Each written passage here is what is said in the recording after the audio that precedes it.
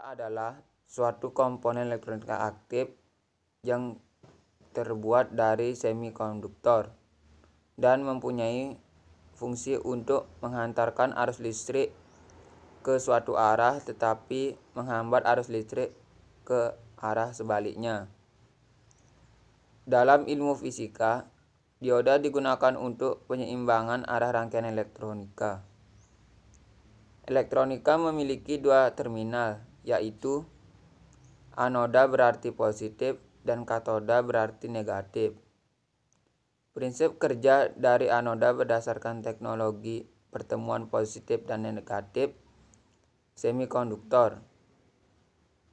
Sebagai anoda dapat menghantarkan arus listrik dari anoda menuju katoda, tetapi tidak sebaliknya katoda menuju anoda. Fungsi dioda yaitu hanya dapat mengalirkan arus satu arah saja. Fungsi dioda paling umum adalah untuk memperbolehkan arus listrik mengalir dalam suatu arah atau disebut dengan kondisi panjar maju. Dan untuk menahan arus listrik dari arah sebaliknya disebut dengan kondisi panjar mundur.